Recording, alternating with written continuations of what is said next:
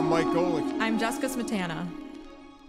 Welcome to another edition of Golic and Smetty. I am Mike Golic Sr. She is Jess Smetana.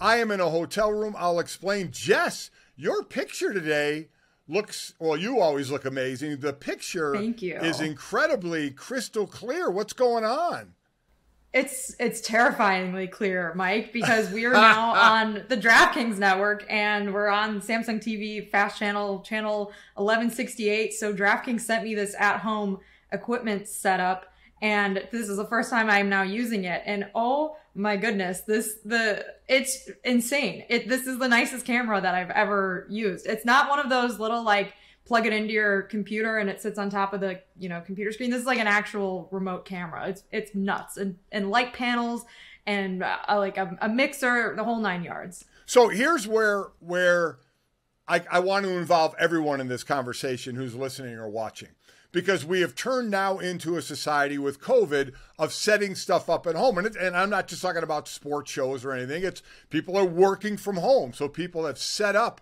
actual studios or wherever their workspace is at home. And I guess different companies will send different things. People will buy the, the ring lights and the different cameras. So I have a very basic setup here that I luckily can figure out and do. I don't know how well I look on camera. Quite honestly, I don't care. Uh, but I just want to make sure people can hear me and see me. But the this stuff from what Mike has told me that they have sent, and now you are telling me, here's my fear, and I wonder how much of this fear is with everybody else who maybe got sent equipment by their company to do at home work. I have no idea how I'm going to set all this up because Mike said it's a lot of stuff a lot of things to hook up, and I am going to be clueless on how to do this. Yeah, well, I my my background in media is as a, a video producer, so I have like a, a, teeny bit of of knowledge when it comes to how to set things up. But that all went out the window when all of this equipment arrived, and I knew there was no way it was going to happen. So um, Danny Benitez, one of the Le Batard show producers, video producers, came over and actually set it up for me, and it took like Oh. three hours on Friday, and it was it was very funny, Mike. There was a zero percent chance. Like I, the most I could do was like lift up the tripod. I was like, I don't know. Technology has now pro- progressed to a degree in which I'm useless, also, and I don't know how to set any of this up myself. So, I mean, what did everybody do? Did you have to? Did people have to get like you did? Somebody from work to come to their house? Do you do you follow like a video of how to set it? Because all this, I'm getting ready to head back to my place at Notre Dame, and all the equipment is there waiting for me. With nobody to help me, my wife will be there, and she'll be able to do infinitely way more No. than I. So, what the hell am I supposed to do? It's not, I mean, it's not that hard. It's just like if you can get someone to do it for you, you should because it will probably take you double the amount of time that it took him. And and and I'm my advice is the same with any time you don't know how to do something. YouTube. There's YouTube tutorials for literally everything now. And it's it's a great resource, Mike. So good luck. So, if you had to set this up by yourself, you think you could have done it? I think it would have taken me forever, but I think I could have done it, yeah. I, I am I am mortified. I, I mean, I am absolutely terrified of getting there because I'm going to get there on a Monday like afternoon, and only and and only have like a, a half a day to set it up before we do our thing, and I do the show with with Mike of trying to get everything set up. I am screwed. I just I just hope I'm not in the boat alone because I have talked about how not technically savvy that I am, and I'm sure there are others out there like me um, who would just yes, look at all this equipment and go, no way can I do this. So I'm glad you got it set up. I look forward to doing that. I am in a hotel room just because my son Mike and I, we are in Colorado Springs. Notre Dame has a sports summit where they, a lot of the heavy hitting donors are out here and they bring out the, the uh, Jack Swarbrick, the athletic director, and a bunch of people from the athletic department. And they're doing it around former Notre Dame athletes who were in the Olympics because they're right by the Olympic training facility. The dinner tonight is going to be the, at the Olympic Museum. I am stoked because Jess, I am a, I'm a, an Olympic freak. I don't care what event it is. I don't care if, if I don't care if there are darts in the Olympics. I will watch it. Archery, everything. I love watching Olympics, I do love darts. anything. I love I love it all because all these sports, these people are working their butts off to try and get to this, and I appreciate that. So there are going to be Notre Dame athletes who were in the Olympics, like you know, an Angie Akers who played uh, volleyball at Notre Dame. She has Olympic medals as a volleyball coach. Uh, Molly Seidel, the marathoner, uh, Yeah. ran at Notre Dame. Um, she ran 5,000 and 10,000. Notre Dame was All American every year, ACC Athlete of the Crazy, Year. and yeah. stuff. Bill Hanzlik, would play basketball Notre Dame, was actually on the 1980 Olympic team that didn't get to play because it was boycotted that year, uh, and others as well. So I'm actually looking forward to a few days out here because Sydney swam here at one point, but I never came out here to see it because I, I'm I'm one of these, Jess. Over the years, we've done a lot of shows uh, for military, and I've gotten gifted to me Army, Marines, Air Force, Navy, all kinds of different shirts or sweatshirts, and I will not wear them because I, I don't feel.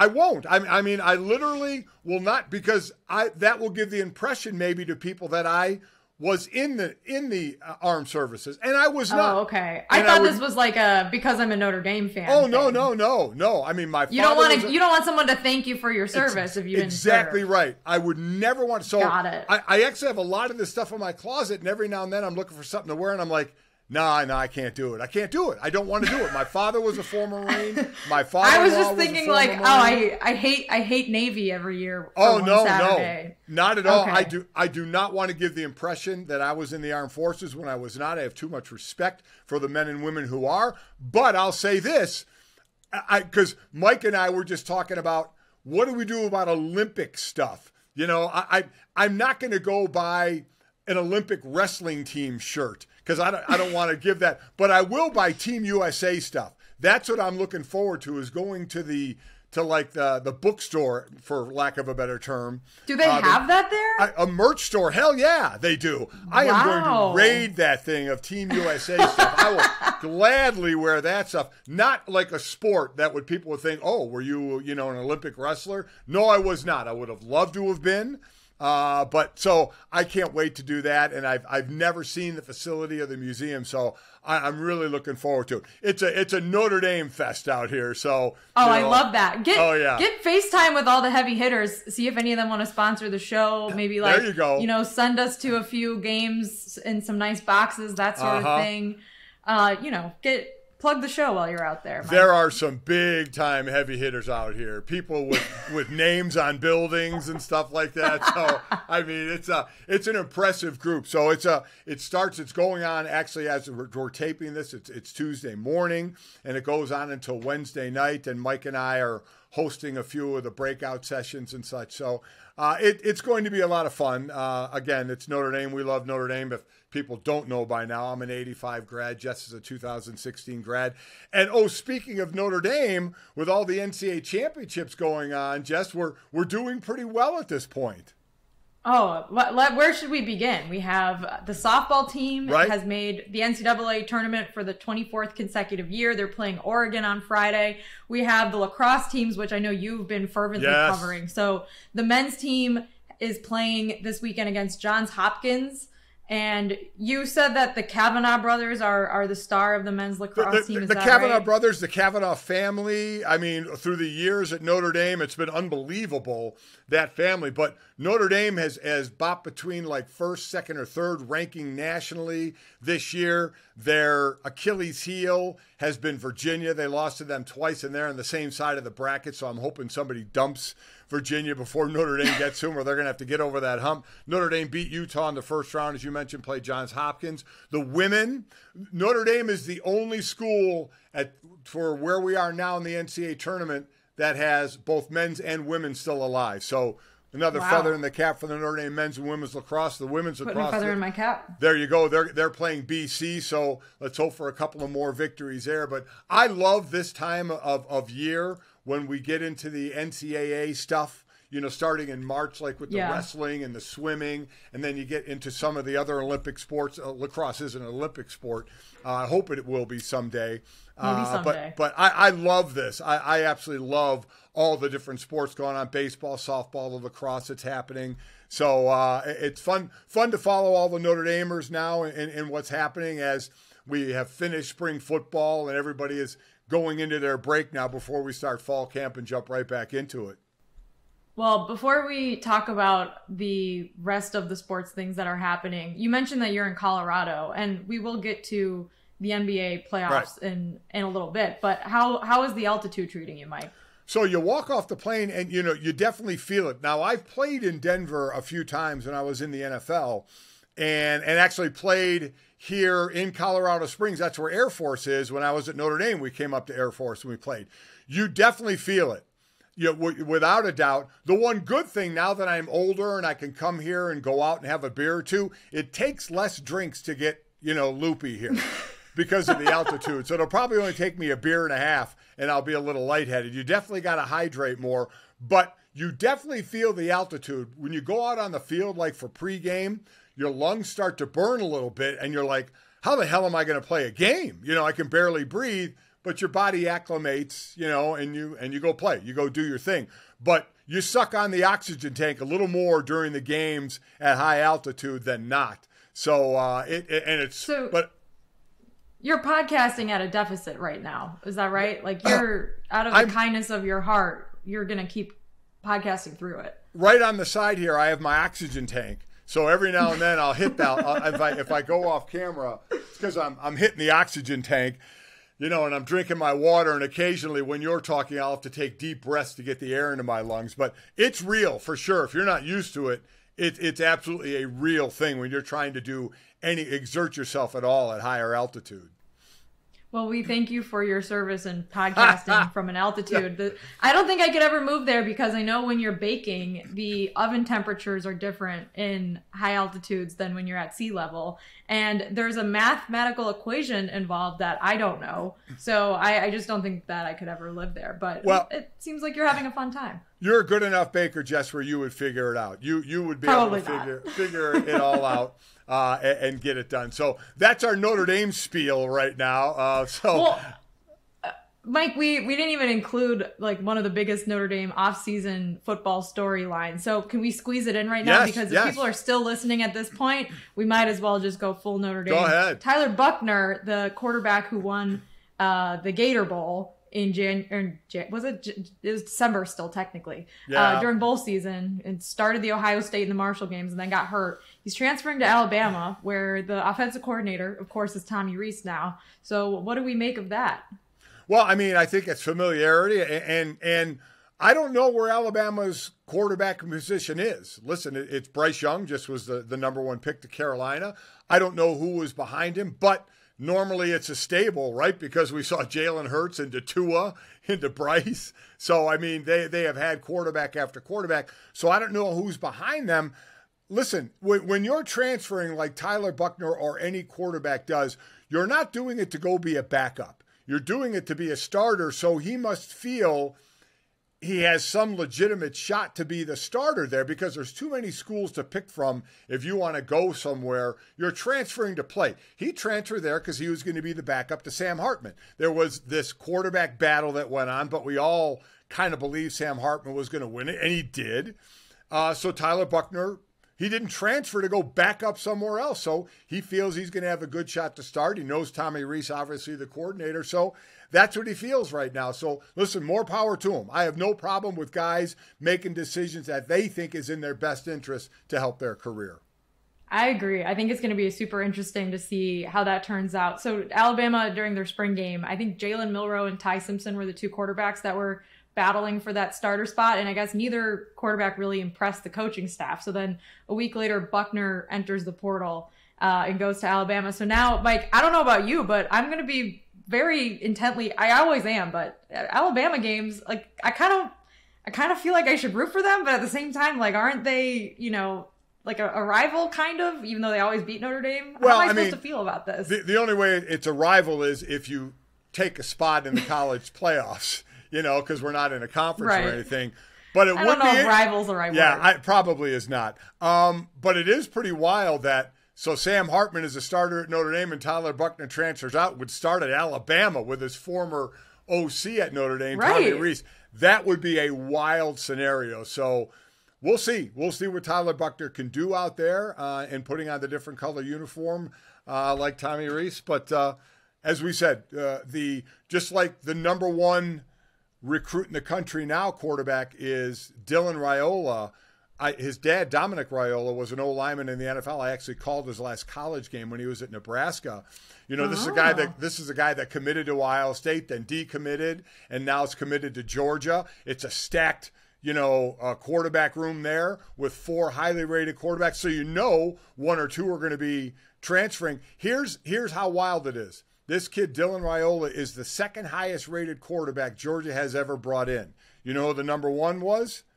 Justin Fields, who didn't even finish there. Really? Who made his bones at Ohio wow, State. I wouldn't have guessed Yeah. that. Yeah, So- I, so- I, I, that's incredible. I mean, Yeah. that obviously wasn't Stetson Bennett. So Yeah, that that's no, it was not. So that's where we are. You can see a great quarterback go to a school and then end up uh, at another school. So we'll see what Tyler can do in Alabama.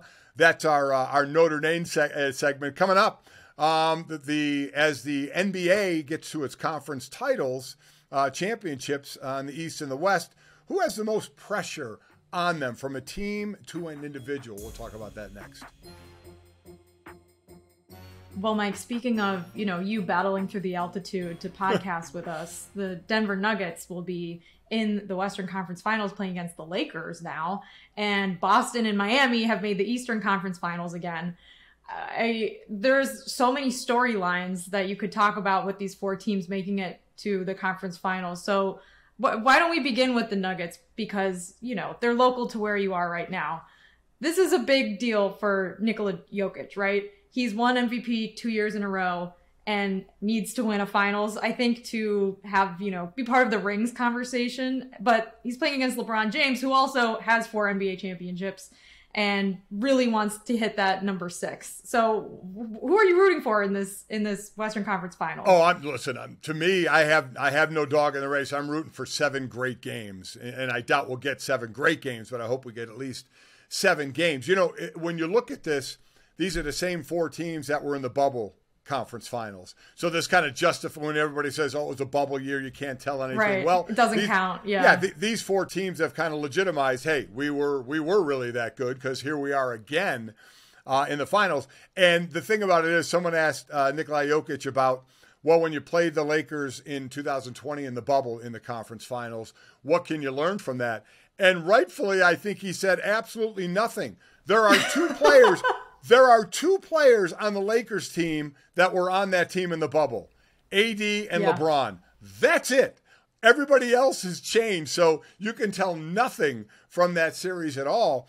And just, you know, going into maybe the pressure talk of who's more of the pressure on, a lot of people think it's on AD to because he is a guy. Usually, when you win an MVP, all of a sudden everybody then starts throwing darts. You won an MVP, you can't win a championship. Well, AD hasn't won an MVP, but we keep talking about him and his career up and down. Injuries have kind of keeping him out. He's balled out. When LeBron got hurt, he's balled out since the trade deadline. He has balled out in the playoffs. And if you're a Laker fan, just kind of hold your breath and hope he doesn't mm-hmm. get hurt because that that's Yeah. that's always been the Achilles heel, you know, no pun intended, that that he would get injured.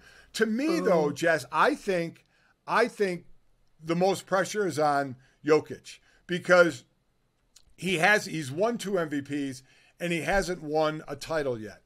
I think basketball, and we try and put it so much on the quarterback. A quarterback is associated with Super Bowls, which I think is ridiculous because even Tom Brady's first couple of Super Bowls, that team was led by the defense. But Tom will get the credit for it. And I'm, I'm just singling out Tom because he has the most that we can kind of break down. Um, but you have offense, defense, special teams. So I, it's amazing to me that it's a quarterback stat. How many Super Bowls did you win? In the NBA, I agree with it because now you're on the court and you have an effect on both sides, offensively, defensively. You can have the most input in a game as a superstar, I think, than any other sport out there. So that's why I don't. I think associating great players with rings is an important thing for their legacy. And I think Joker's got to get one of those. The last five years, where they were ranked in the West, one year they were six. Other than that, I think they were one, two, or three, including one this mm-hmm. year. And they've never been able to close the deal, even in uh, Nicoli's uh, two MVPs. So I, I think there's that legacy thing of, yeah, he was an MVP, but he couldn't lead his team to a title. Right. AD has a title, doesn't have an MVP, but he has a title. Uh, you know, he and LeBron won that in 2020. So I think it's on the Joker. I think he's got to get kind of that that title to go with the MVP to kind of or now listen, it's not the end of the world if you're put in Karl Malone and Charles Barkley territory of being an all-time great and never winning a ring for football, like a Dan Marino situation, mm-hmm. you're still considered one of the all time greats.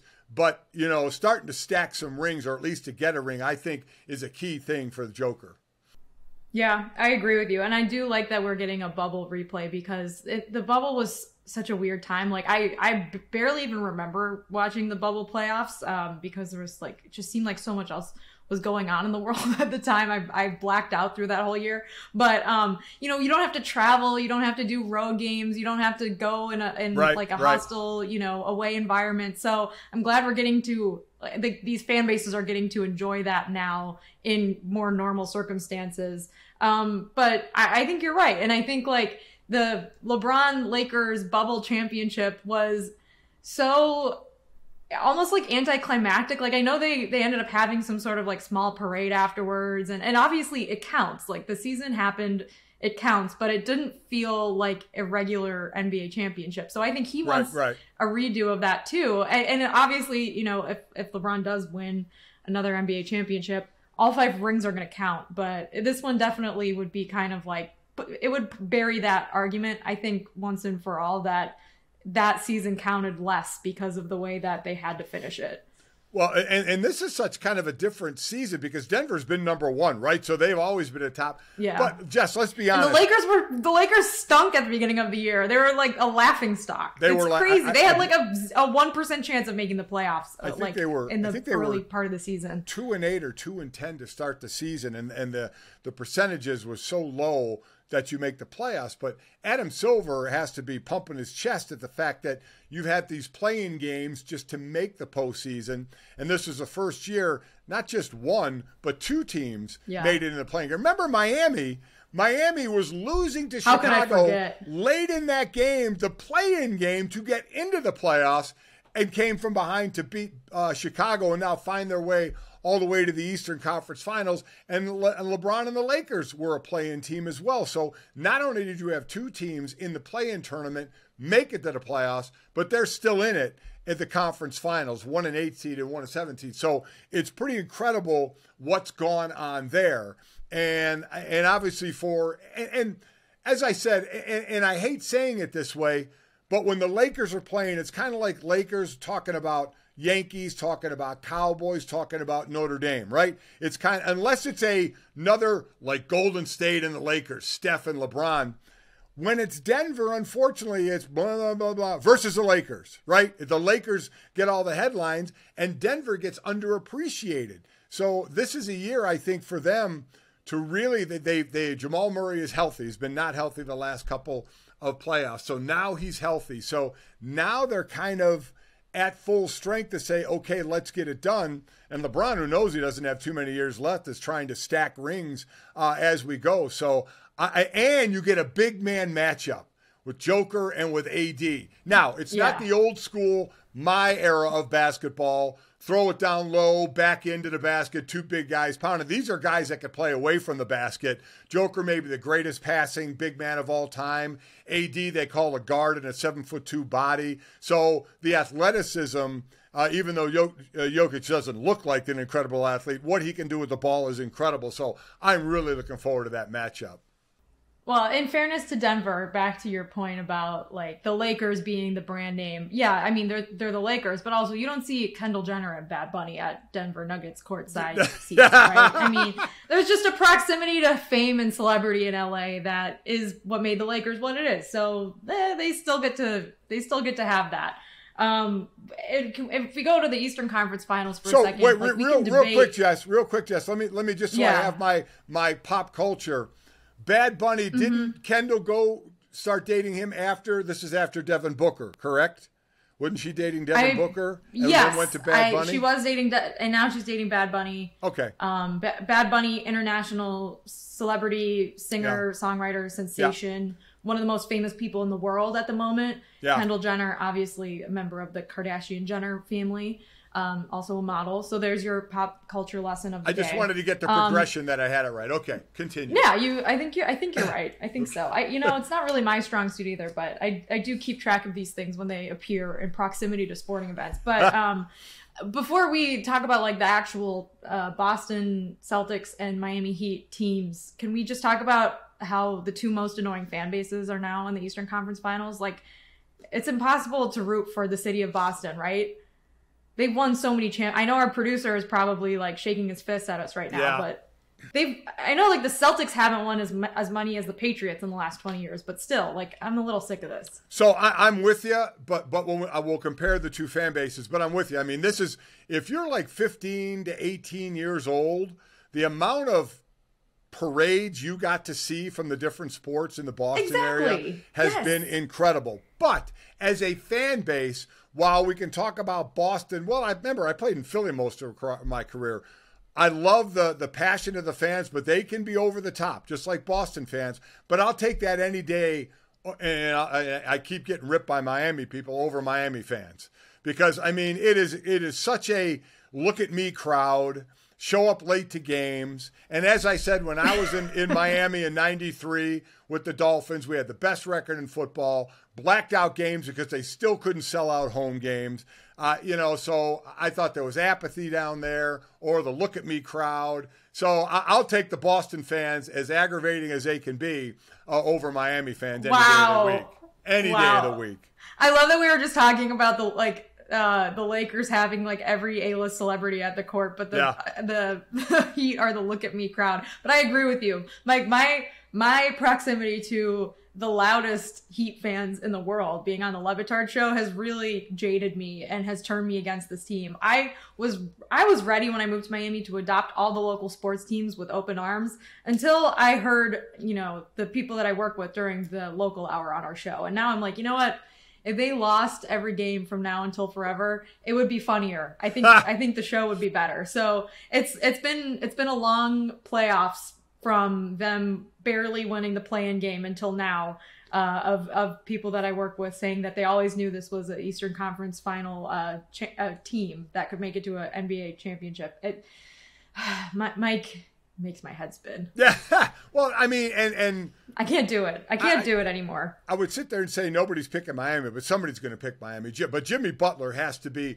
You know, we, we talked about matchups, uh, Jokic and AD. Everybody talking about Tatum and Butler, but then I hear matchups of Butler versus everybody. Jimmy Butler is going to have to, and he has in the playoffs, going to have to play out of his mind in this because Boston has the better team, the deeper team than Miami does. But just for the fact that Miami is here, you can't count him out.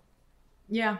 And he might be like he is still hurt. He's got some ankle thing going on. Right. But you're right. Like he he's got to be playoff Jimmy. Yeah, yeah, yeah. I hear about this all day. Let's move on. We're going to do a little bit on the phenomenon that is the NFL schedule releases. So stay tuned for that. All right, Jess. uh, It still blows my mind when the NFL schedule comes out. All right. So I had to do a show. I call NFL games for Westwood One. And we, like all the TV networks, Westwood One is the, the partner for the NFL uh, on radio. So we did a two hour schedule release show. We taught, we had Andy Reid on, we had Jason Kelce on, we had Garrett Wilson on, uh, you know, talking about the schedule. And I, I, I've done this schedule release show, not for Westwood One, but being at ESPN for a couple of decades now, Jess. And I will still say, from the first time I did it to now, I don't care. I just ah. the schedule release. What? means- the schedule release means nothing to me. A, you already know who you're playing. Now it's just a matter of when you're playing them. And the only thing as a player, I was a couple of things I was concerned about. was because I knew who we were playing already. So I knew the players I was already playing against. So I looked at when was my bye and uh-huh. when was I traveling early in the season? Was I going to a hot place like Arizona or Miami? Because again, give me cold over hot any day of the week. I'll play in cold over the heat. So that's what I looked for uh, because we didn't have international games back then, and we'll talk about those that are coming up. Now, I did play in London twice, but they were preseason games, and we spent the week there, and we we practiced with the other team, and because it was a preseason game, we found the best pubs to go to. It was awesome. but now these are business trips. You're going there to play a game. Jess, I don't care about the scheduling. I don't care. But but wow. I, have thrown my hands up because so many people do care about it to the fact that it's not only for the fans, but it's for every team's social media department to try and put out a banger video uh, to yeah. to beat everybody else. And I know Mike's so into those videos. You're so into those videos. I, this is where I am the old curmudgeony guy, and like I just do get, not care. Get your scheduled oh. release oh. off my lawn. God, That's how you you. sound right now. Okay, I'm well, sorry. no, it's okay because I, like you said, I'm into it. I think that it's fun, but I also like some of them. Some of them aren't very good, and I think we need to be able to critically focus in on um, some choices here because for me, actually, the the one that I think encapsulated the schedule release phenomenon the best was a very meta schedule release by the Steelers. Not, you know, I'm not saying that just because they're my your team, my favorite Jess. team. Come on, you're. But biased. you watched? Did you watch the Steelers? Theirs was about their video was about schedule release videos and wh- how to make a good one. Um, and it was the thing that I loved about it, Mike, it was short. These videos, some of them this year, I was scrolling through all of them before we recorded the show. Some of them were like eight or nine minutes long. I'm yeah. like, if I watch two of those, that's like an entire episode of Dave. Like that's a that's a time commitment, and I know you've never even heard of that show. So oh we'll no, move right past oh, that. Oh, reference. I've heard of that show. I have heard of that show. Yes, I have. But I oh, I, okay. I, I have not seen them all. Shocker. I I did like the the Tennessee Titans when they went on the street and we're showing yeah. logos to just people on the street. And the amount that people, this is where I think sports fans are like, how do you not know? But there are so many people out there that aren't sports fans. Um, and, and Tennessee, yes. the Titans people found them because they were putting up uh, logos and these people had no idea who these teams were. It was, I thought that was pretty funny.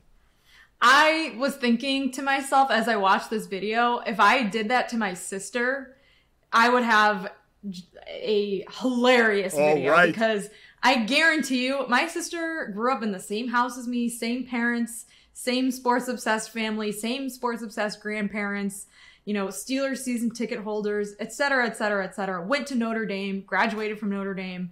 She couldn't tell you a quarterback from a point guard. She knows nothing about sports. She couldn't she could not tell you any of these logos. Sometimes I'll text her out of the blue and be like, Deb, who's the head coach at Notre Dame? And she'll be like, Brady Quinn. And I'm like, ha ha ha. And I just make fun of her. But she, like, she would have been perfect for this Tennessee Titans schedule release video because she, I guarantee you she would not have been able to name a single logo. So uh, that one to me was a pretty good one. And, and I am, amazed at sports people who are amazed at people that don't know sports. Like every every year, every year we get the, the, the the huge number that watches the Super Bowl, but there are some sports people that are like, how aren't more people? Wa- why doesn't everybody watch this? I said, gang, this is. We're, we're, we're in a in a bubble here. It's a huge yeah, bubble. we really are. But it's a sports yeah. bubble. And I try, I remember I had this battle with Greeny one time when he's when we were talking about actors or actresses compared to athletes. I says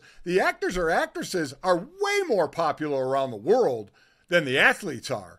You yeah. know, outside the sporting world. And I remember Greeny interviewed Ben Affleck, and he asked Ben Affleck that about like J Lo, and Ben Affleck basically laughed at him and said J Lo is so much well more well known around the world than athletes are that that the people can't understand why more people don't watch the sport. So I, I thought that that's why that's why you get J Lo to do the halftime show at yeah. Super Bowl because then you get all the people to watch, right? So, like that's it's, yes. a, it's a no brainer, really. So here's the one that Mike's favorite was the Chargers, and because it was, mm. did you see that one? It's the animated. Yeah, thing. so theirs was anime, and this is this is one thing I liked about. So it was it was clever, it was cool. They had tons of Easter eggs in it. If you like pause the screen and zoom in on things, you can find like little little Chargers Easter eggs. But like it was also two minutes long, and I'm telling you, these sports teams, you need a good editor. You need to trim these videos down because people don't have the attention span for more than I mean, even two minutes is a stretch. You can watch a two minute video on TikTok now, and it's rare, but it's it, when you're on when you're scrolling anything more than two minutes, like I'm losing focus after after that. Like see it, that that's much. one of it's the more amazing things to me, Jess, about about this this group we have now uh, of youth is the attention span. That you could you could make something that's two minutes, three minutes, four minutes, and you can't sit through it. How, how can you not? You you when Yeah. you watch something on you, you sat through over four minutes of Outer Banks, didn't you? And that was a, a horrible show that we both watched. Yet you have no problem I sitting sat through, an episode of that. 300 hours of Yes. Outer Banks, Mike. Yes. I watched so much Outer Banks. Yeah. so why you're- can't you watch a two minute right, video?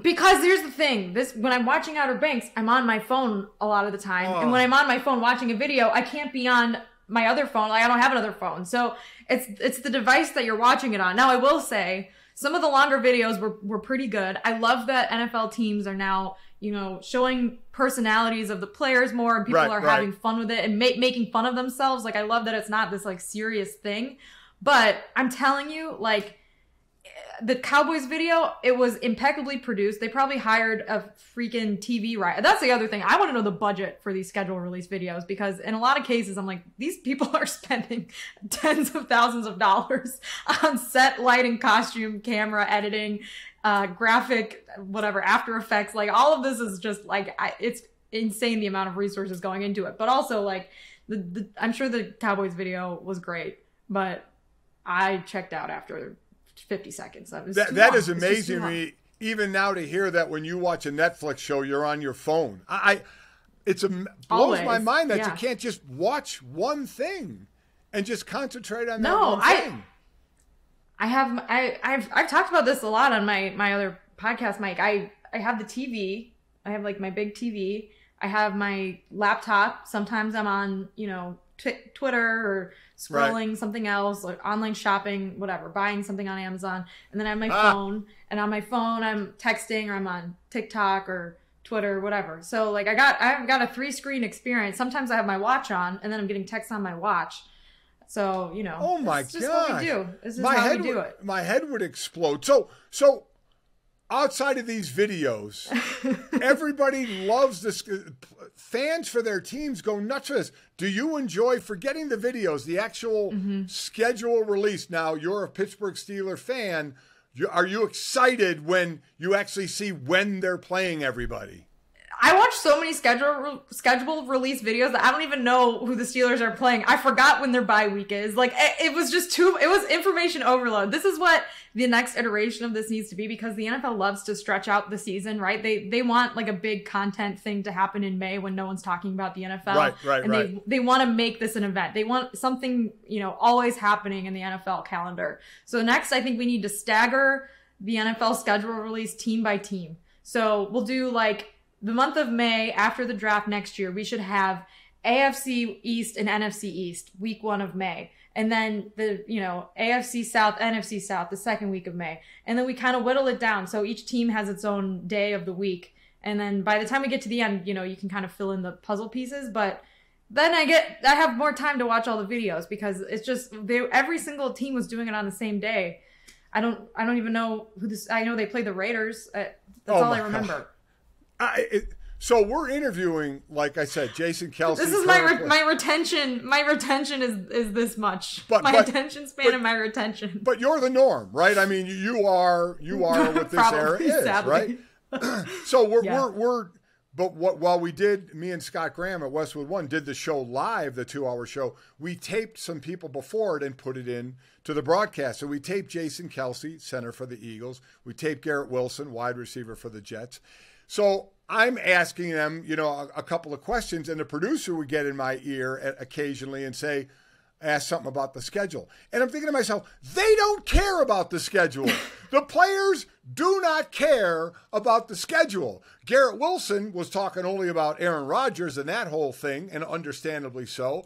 And Jason Kelce is 80 years old. He's been in the league for 30 years. Do you think he gives a damn who he's playing or when he's playing them? Hey, he's ever, it all. No, uh, you're right. exactly right. I'm like, ask him a question about the schedule. What the hell you want me to ask him? I'd rather ask him. Jason Kelce was thinking about retiring, and Garrett Wilson has Aaron Rodgers. I'm thinking that's where I'm going to go with the players. Andy Reid will talk about the schedule and such, but but players, man, I, I that's what I'm saying. I'm like I'm like a player, Mike. I'm like a player in that sense. I don't care who's on the schedule either. I'm you know who just focused on oh. week at a time. I'm like Bill Belichick. Really, I'm a good I'm I'm a good fan in that way. The, the two things that I took from the schedule again because I don't really care about it all was that Detroit is playing on that opening Thursday against the defending Super Bowl champs, Kansas City. I think that is a great thing for Detroit. Detroit had a top five offense last year. We know the offense Kansas City has. So you have a chance for some pretty good fireworks and a Detroit team who just. Green Bay is starting a, a, quarterback who hasn't started in Jordan Love. The Bears are still at least a year away. So I think it's Detroit and Minnesota fighting for that division. And right out of the gate, when teams aren't at their best, Maybe Detroit can catch Kansas City on one in the opening game. So I'm very happy for Detroit.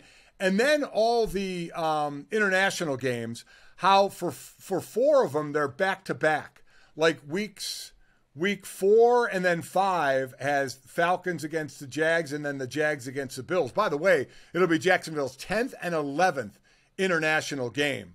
Uh, and and if the league is still thinking about having a team be based overseas, in my eyes, Jess, there is no shot that's ever going to happen. Jacksonville would be that team, probably based in London. I don't think it will happen, but that's back to back weeks there in London. And then actually, week six, it's the Ravens and Titans in London. And then week nine and 10, it's back to back in Frankfurt, Germany Dolphins, Chiefs, Colts, Patriots. So the games overseas are very, very popular. They always sell out. I always like those a lot because they count. Now, like I said, when I did it, they were preseason games. So those are the things that interest me, I guess, more than than anything else that people get excited yeah. about. I'm with you. I can't remember. Did you go to the Germany game last year? Or have you been to the Germany game before? I, I have not. I called the Mexico okay. City game last year. That's right. Okay. Um, I knew you did one of the one of the games that was and, abroad. And I have a feeling I might be asked to do one of those back to backers either in Frankfurt or London where I'll do the game and then just spend the week in either Germany or London Ooh. and do the next game. So so that'll be pretty cool uh, if I if I get to do that. I'll, I'll look forward to that. Well, let me know if you get like a companion pass or anything like that because I've heard great things about. I've never been to Germany. I've been I, I have been to London a couple times, but you know, just you know, you, you, you know how to reach me, Mike. You do understand that my wife will probably want to go. But if she decides, you know, maybe she doesn't feel well, maybe I got it. I get to go. That's your next on the list. Okay. All right, I think we can do that. I think I think we're good with that. All right, fine.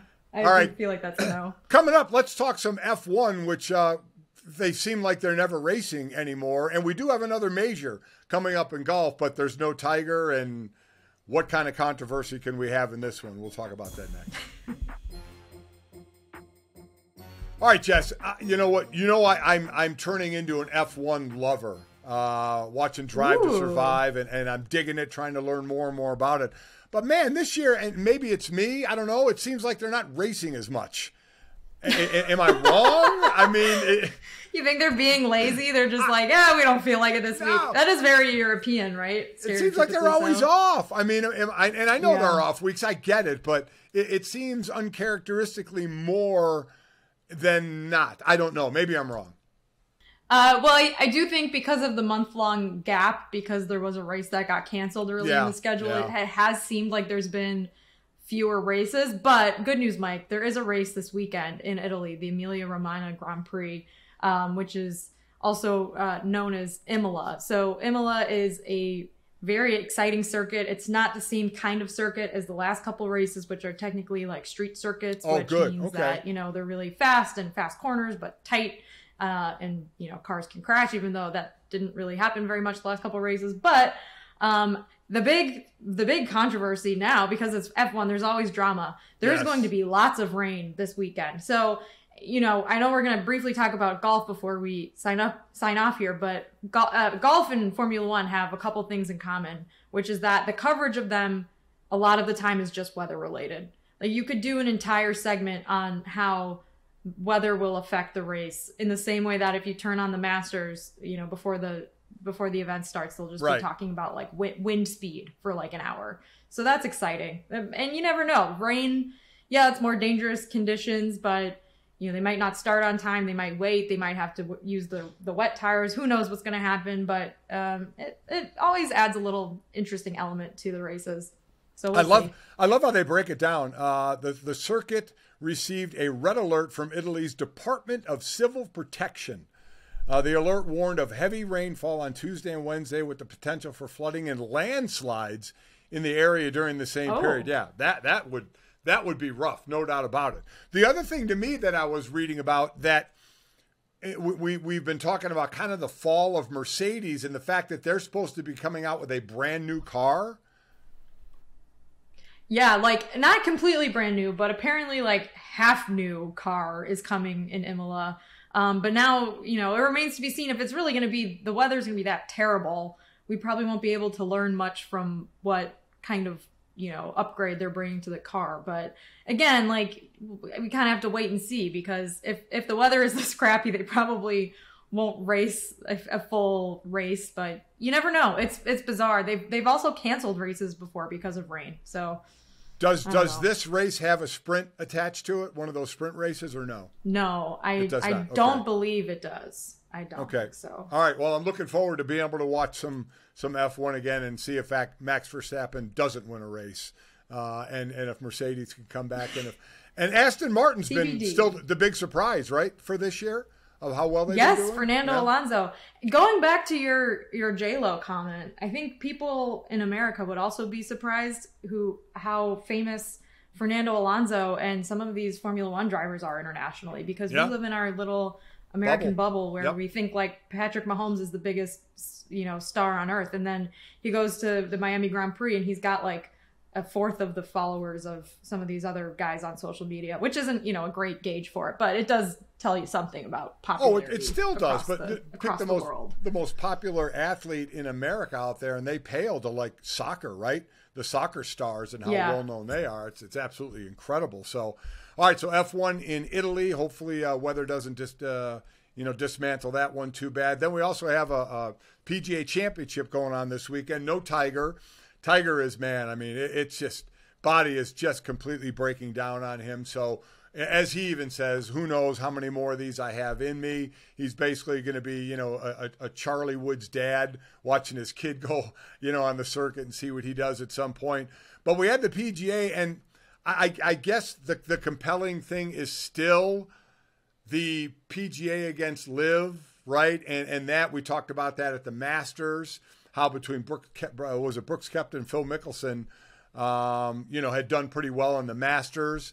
Uh, and, and then the big controversy, or there was a controversy, that after Mickelson's round, last round, he didn't get interviewed, and they're already talking about at the PGA this week for the tent, the interviews, the, the, the pre-tournament interviews, that they, they were naming names of those that were invited and those that were not, and a lot of the LIV golfers were not invited to be interviewed. So there still seems to be that that undertow, right, of of PGA versus LIV until something can get worked out. Yeah, or or it won't. I mean, it, but it's kind of like we were talking about off air. This this major is the one that I think probably gets the least amount Yeah, of attention. yes, like if yes. you weren't a big sports fan, you probably didn't know there was a major coming up this weekend just because of how popular the other three are. I think. Um, so yes, I think it's a it's certainly a storyline, but I also think that like the Masters storyline is was way more uh, Yeah. prevalent. I think in in terms of like how these things worked out this season. And, and there, there didn't seem to be any any animosity between the two. Rory McIlroy, who's been the most outspoken about LIV, he actually isn't golfing very well, and he hasn't said a whole lot as of late. There's going to be 18 players from the LIV Golf League at this PGA champion in this PGA Championship field uh, coming up this weekend. So you know we'll see. But but again, everybody who was waiting to see was there going to be animosity? Were guys not going to talk to one another? We didn't see any of Yeah. that. Was there any of that behind the scenes? I don't know.